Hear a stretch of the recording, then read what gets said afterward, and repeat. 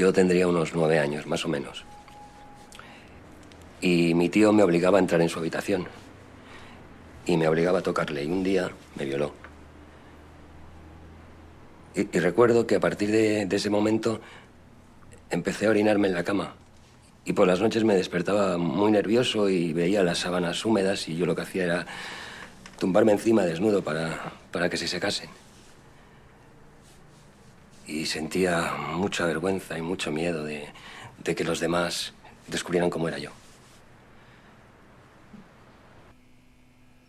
Me tocaba la entrepierna. Yo sentía su pene en mis muslos. Me daba miedo. Me estremecía.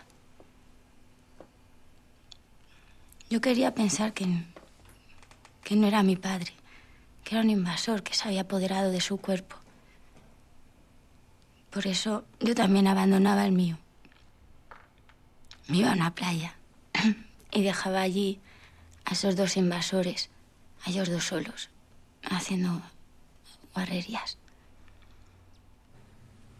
Yo tenía cinco o seis años cuando empezó todo. Él ya pasaba los 50 y decía que yo era su nieta preferida y que me quería mucho.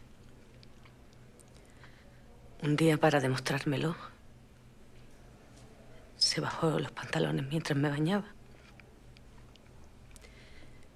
Cogió mi manita y, y la puso en su pene.